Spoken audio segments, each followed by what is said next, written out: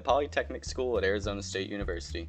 It is home to the Ira A. Fulton School of Engineering, the W.P. Carey School of Business, the College of Letters and Sciences, the Mary Lou Fulton Teachers College, the Barrett Honors College, numerous facilities, hundreds of faculty members, over 10,000 students, and it is still rapidly growing.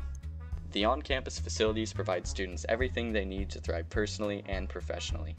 There's a full motion flight simulator, a commercial photography studio complete with an array of professional grade equipment, and a stroboscopic slow motion studio, a fitness center complete with weight machines, aerobic machines, a full martial arts studio, basketball and volleyball courts, racquetball courts, and training fields.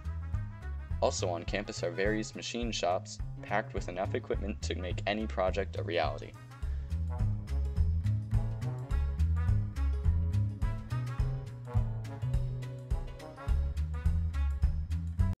Came to the Polytechnic campus for hands-on education. I get to meet with my professors, I get to talk with them, I get to feel like I'm part of my education.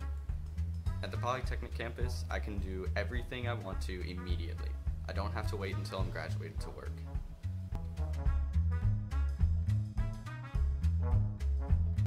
I like the Polytechnic campus because it's smaller, more community centered. The teachers are more focused on teaching you actual material, and um, it's very nice to be close to friends. There you have it, the Polytechnic School at Arizona State University, a quaint campus in the desert that is sure to leave any aspiring student satisfied.